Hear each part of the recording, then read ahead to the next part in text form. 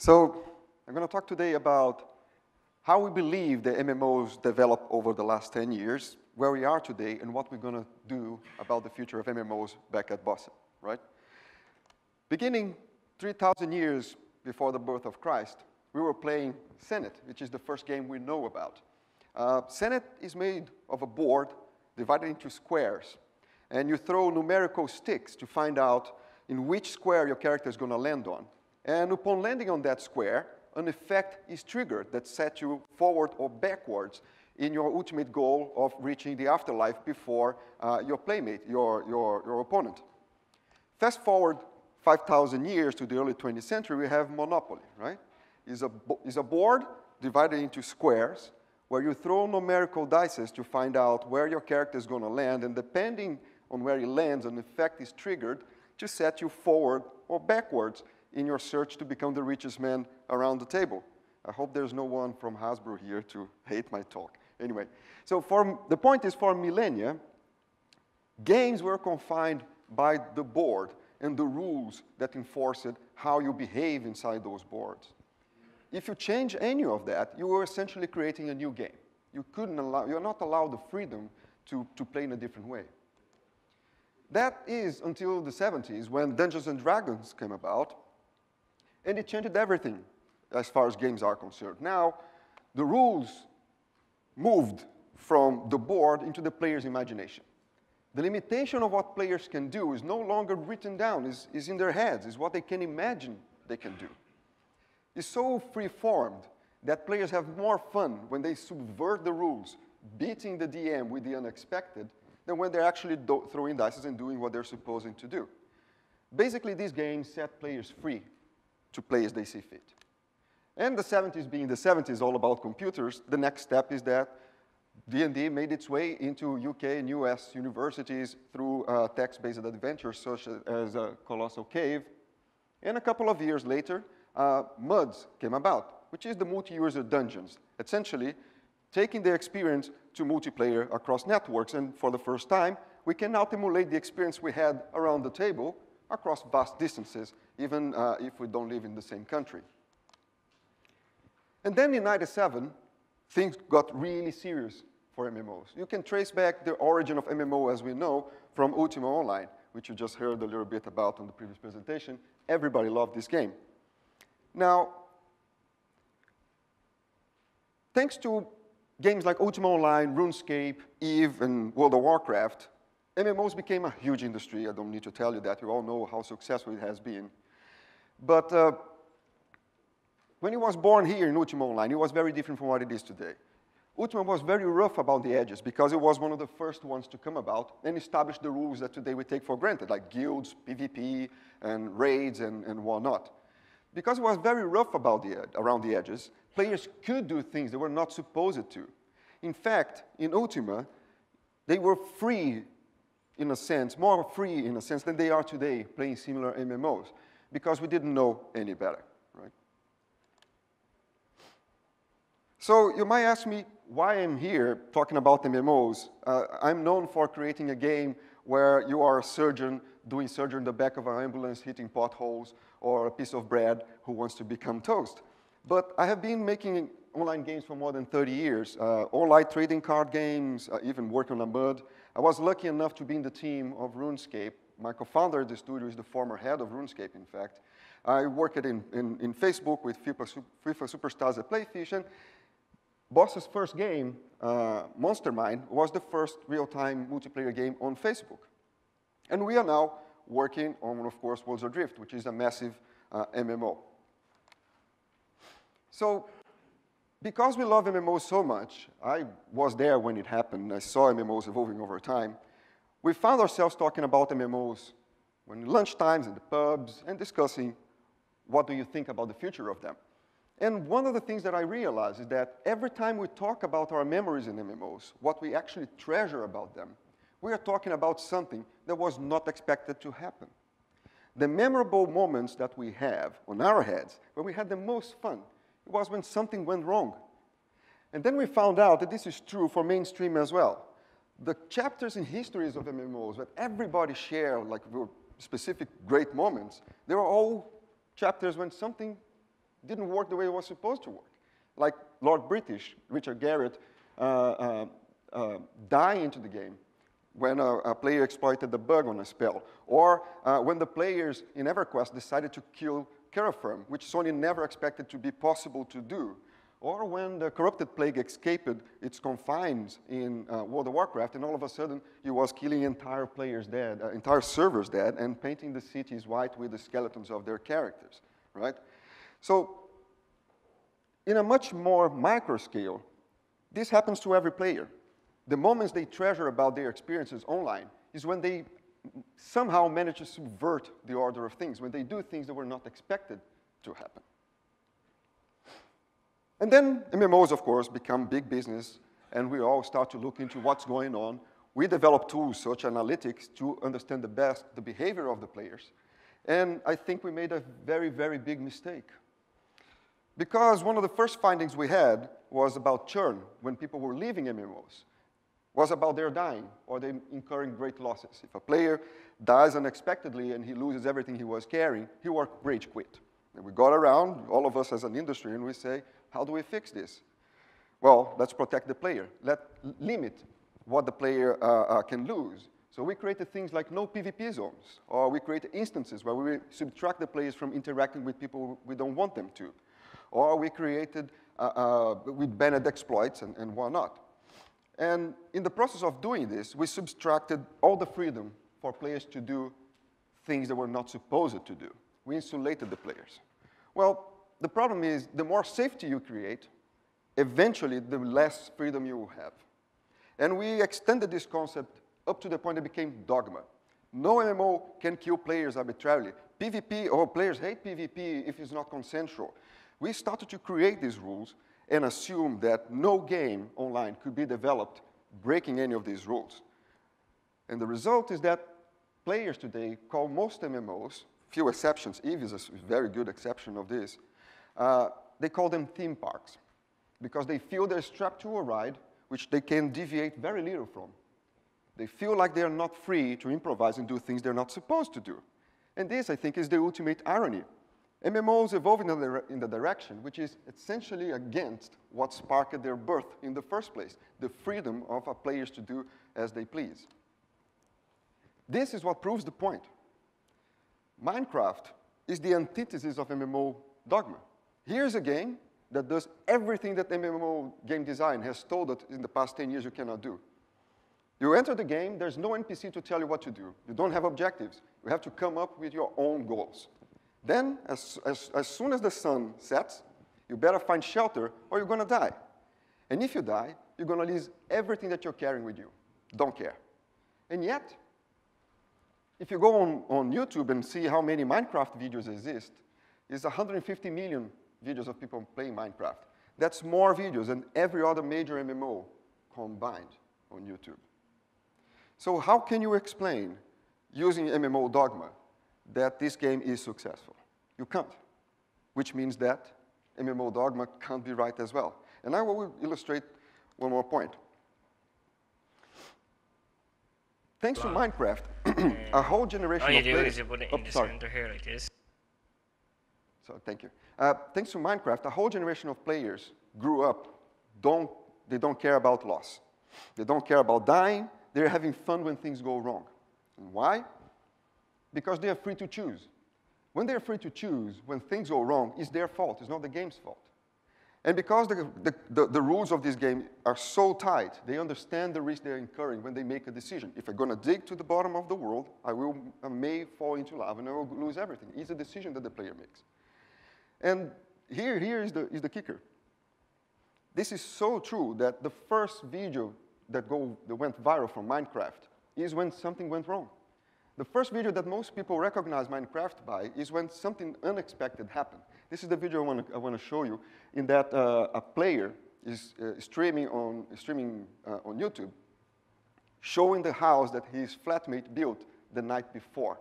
And of course, things don't go according to plan And then set a fire to it.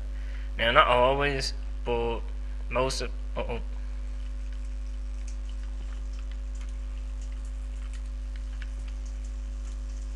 Crap.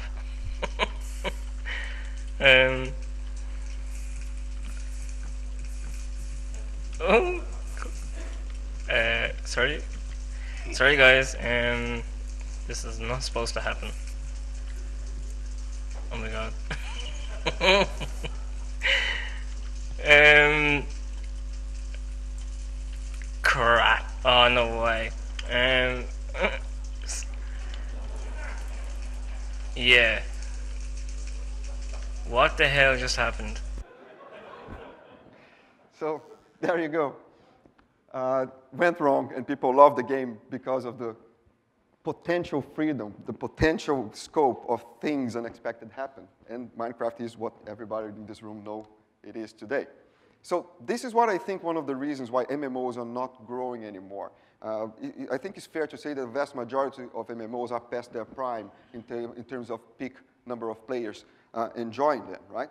Simply because a generation of gamers who grew up used to the idea that they can do as they please, they can change the world around them, that they can come up with their own objectives, simply will not accept having to walk to an NPC that will ask him to go and kill 10 rats, to bring the tails back, so they will be rewarded XP to rinse and repeat that in a different setting.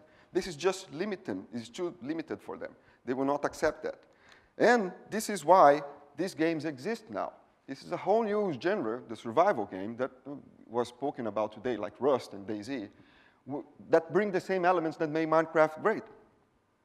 Crafting, survival, damaging, uh, limiting risk by yourself, uh, taking risks with your friends, and open gameplay with no objectives, nothing set in stone. You go on and, and, and do what you want.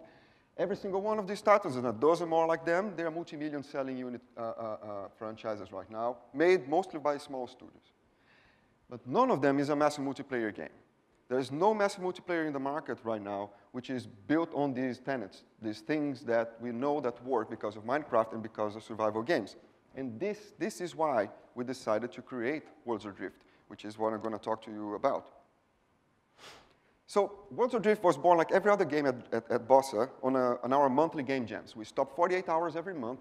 All the teams gather, uh, all the teams stop while they're working, and they form in small units of five or six people. And we create around five or six playable prototypes per month, which we all try. And every year, out of the 60 or so games that we create in, those, in, in that framework, one or two become projects, like Surgeon Simulator and I Am Bread, that we see to launch. In Worlds Adrift, the jam theme was multiplayer games that you will play as a hobby. Now, this immediately became a problem because no one else at the studio played MMOs. We all loved the idea of MMOs, but we found out all of a sudden that no one in the team of 30 people were regularly playing MMOs anymore. And then we started to go back and find out why that is, when we stopped at playing MMOs. And we have to go as far back as Ultima Online, and then we make the discovery that uh, something got lost along the way from pen and paper RPG to where we are today. And in that process, we created six pillars on which we started to build Worlds Adrift around.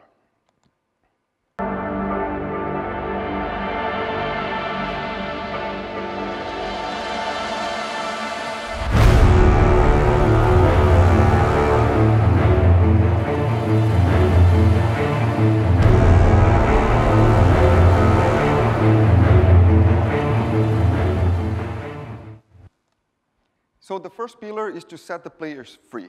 With today's technology, we can do pretty much anything we want in, in, as long as uh, games are, uh, are concerned. So why not do this, since we have been proven by Minecraft and others and survival games that when they are free to craft whatever they want, the way they want, they enjoy the game much better. And if they're building things that they use inside the game with their own shape, with their own purpose, they are investing emotional uh, capital into that, which make a huge impact in retention uh, and engagement with the title. Not only that, this generates free content for us. Because we allow players to craft things in any shape or form they want, they can build things that suit their style of gameplay. So suppose in Worlds Adrift you decide to be a pirate and you want to build, using the example of ships that fly in, uh, um, from island to island, if you are a pirate, you want to make a ship which is very fast, so you can hit and run very fast, you load it with a lot of engines, right? If you are a bounty hunter, you load it with a lot of cannons because you want to threat other people uh, and, and take them into uh, a bounty or whatnot. If you are a trader, you probably want a much larger ship with plating to defend you and whatnot. Or if you want to do a different role, you come up with what you want to do. This is content that the players create for themselves to follow their own objectives. And by doing so, since there's no prescribed way to do anything, we soon see people sharing their concepts, their best ideas, their best practices on Reddit, on YouTube, on Twitch, uh, and whatnot, which in turn create free marketing for us. So it's a game that is free formed, enable people to create free content, and because of that content, as uh, uh, Alex was saying today about how people watch the builds in Rust, what is the kind of builds that you're, you're, you're making with your game, the same thing happens when you allow them to freely craft.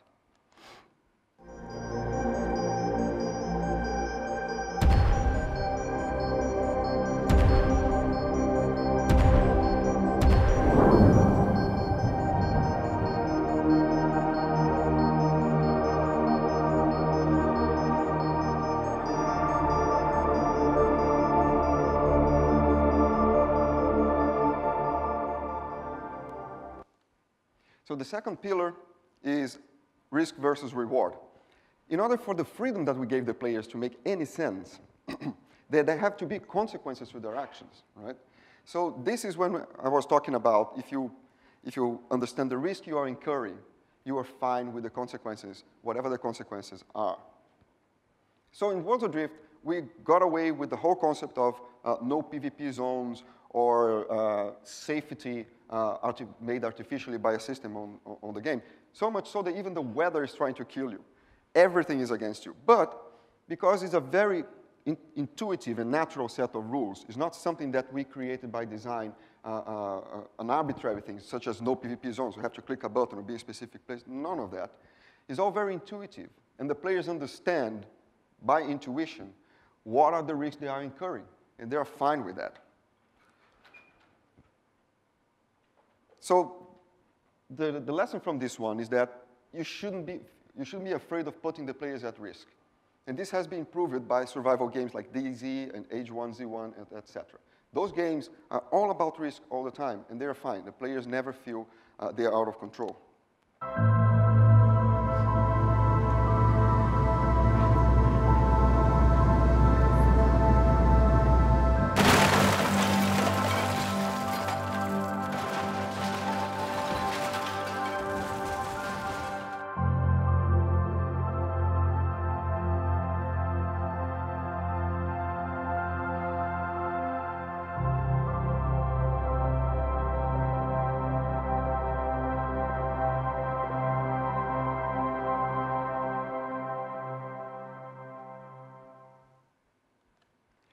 So the third pillar is one of my favorites, is about permanence.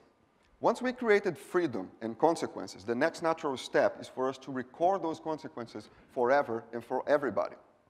In Worlds Adrift, everything is permanent. Every rock, every creature, a tree, if you move them around, change their position, that will be the new state of that thing forever. The time-lapse video that you saw there, you saw a ship crashing into an island, uh, getting blown to pieces into hundreds of different parts that the players built themselves to, to craft that ship.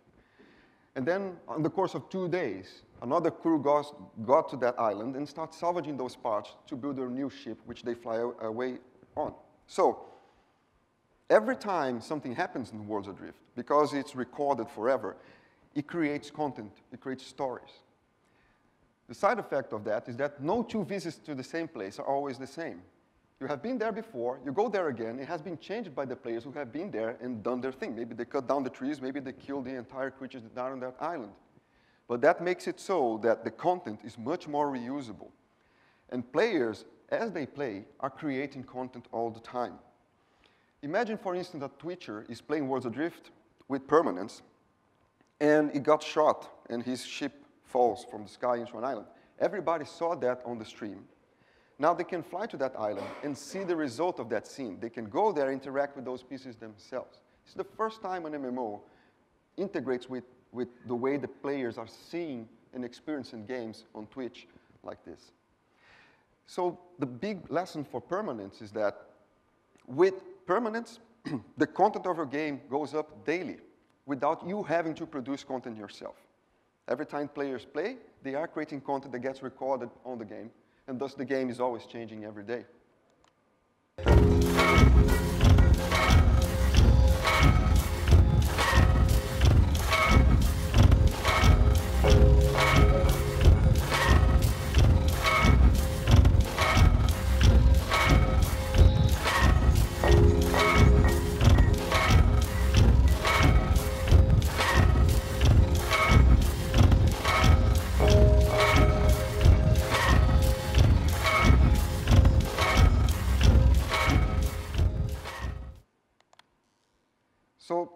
Pillar gave us some pause. Is about the freedom to let players shape the world. I'm not talking about a mod here where you might create a level that players might or download and experience or not. I'm, I'm talking about the players helping us create the world that every other player will share, the game that we're going to launch. So we made a tool, made it available for players, but we didn't even know if they would be able to create to the same quality that we expected them to or that we could create into uh, the, whole, the studio itself. And of course, we were horrified of what would be the, the, the TTP of, of uh, giving such a tool to players. So TTP is time to penis, right? We all know that when we give players the tools, they create things that we don't expect them to. Now, not only we were pleasantly surprised that no one of them uh, made the penis-shaped uh, island, actually was our team who did the, the, the, only one we had in the game, uh, but the islands they started to create were much better than any island that we did internally. We not even launched the game, and we already have 2,000 islands of quality that we could not match ourselves with level designers in the studio that will form the world that's going to launch next. Imagine how this affects game production. So the lesson that we have learned from this is that by intuition, we assume that players who are engaged will be able to create something of very high quality.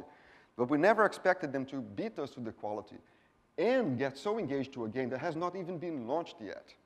This is something that I have never expected, and it turns out it happens.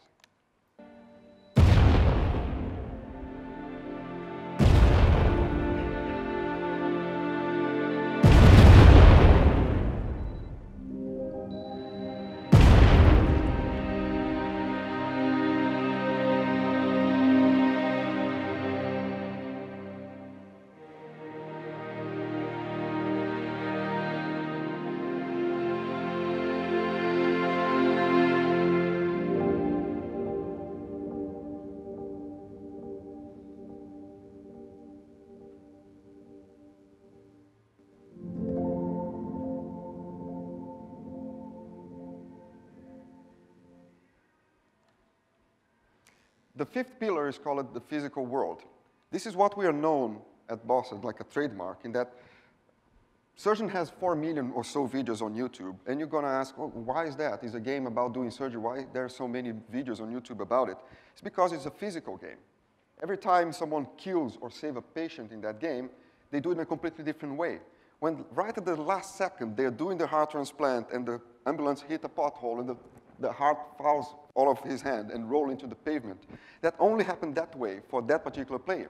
So every video they push to YouTube is a very different video of the same game and thus valid content to be enjoyed. So if you take that to a new level on an MMO, you create something which is quite, quite special. Worlds Adrift takes physics to a very new level by compare, pairing it with crafting. Imagine that not only you can now craft whatever you want, like structures, ships, guns or whatever. But all of that is physical, which means that every time you use it, every time something interacts with one another, is unpredictable the result. Therefore, the content is again expanded into very close to infinity. Give you a quick example of how far this can go. We have this um, weekly session at, at the studio where we created ships to battle each other. And we all armed the ship to the teeth with uh, cannons and plating and, and so on to blast the hell out of each other. Then I saw someone building a ship with no cannons and no plating at all. And he was piling rocks on top of the deck of the ship. When the battle started, he flew that ship over every other ship, tilted it over, and the rocks fell over the crews below, killing everybody there, without one single fire of a shot, uh, one shot being fired. Now, we never coded this. We never scripted this. We never expected this, that this was possible. Physics enabled it to, do, to happen. Now imagine that in a scale of hundreds of thousands of players, the amount of stuff that they can come up with, the strategy they will be able to develop over time. So if you are to create an MMO which has physicality on it, you are essentially creating the possibility of the players to create content uh, uh, that you never expected to be possible or anticipated that will happen. It makes the life cycle of the game much longer.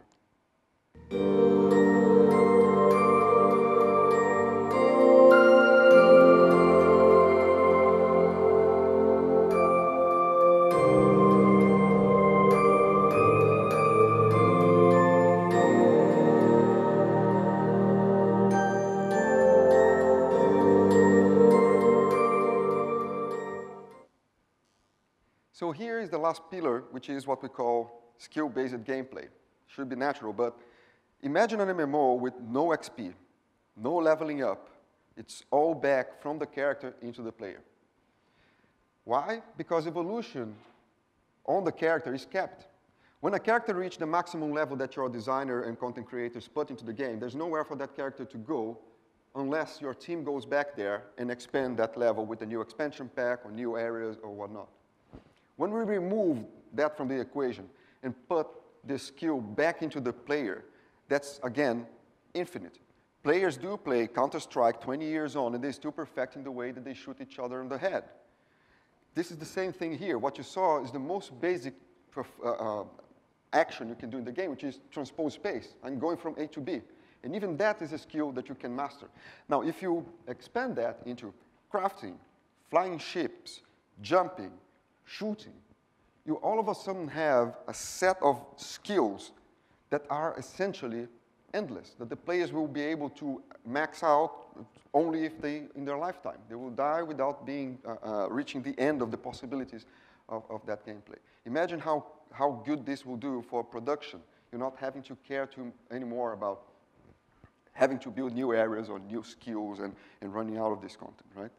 The payoff right now for us is that very easy for us to differentiate Worlds Adrift from every other MMO, by just saying, oh, there's no XP, there's no grinding, which, by the way, players hate so much they create tools to automate that task when they're having dinner.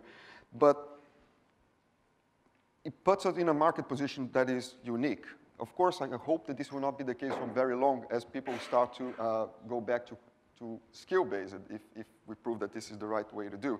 But don't underestimate how much locked in the mentality we got on looking at MMOs are uh, all about XP and leveling up and investing on the character. Investing on the player, as far as we have seen, is probably a very, very useful route to take. So I have spoken about all these pillars, and there is one, one last point I wanted you guys to take away with, which is Worlds Adrift has been in production for two years now. Uh, most of these two years was only 10 people working on it. The team now is around 20 people, most. And the game is on alpha. There is a few thousand of people playing it every week. And we're going to release it in a few months. Now, we are about to ship an MMO, which hopefully will change a little bit the status quo of uh, online games. That was developed under a budget similar to a, a mobile game. And the, the trick for us to do that is a very, very simple one is shifting from content production to systems production. Now, when Gary Gygax created Dungeons and Dragons, he didn't create a world. He created a frame set for the players to create their own worlds in there. When Notch created Minecraft, he didn't put NPCs to give the players quests or objectives or anything like that. He created a landscape with resources that you could harvest and build upon. Those are all systems. And the beauty of systems is that they are exponential. If you build two or three systems and they interact well together, and you build a fourth one, you are not expanding the game by 20 by a quarter. You are expanding a, a, a game by 10, 20 fold, because that system interacts with all the others that enable much more content to be generated because of those systems. Uh, this is the mindset that we hope that the industry should now, on MMOs, uh, could now take, given the technology that is available today at our disposal. But if we don't let go from the rules that got us here, uh, we will not be able to do that. We have to look at these problems in a very kind of uh, innocent or um, uh, unjaded way, if you wish. And uh, that's me. Thank you very much.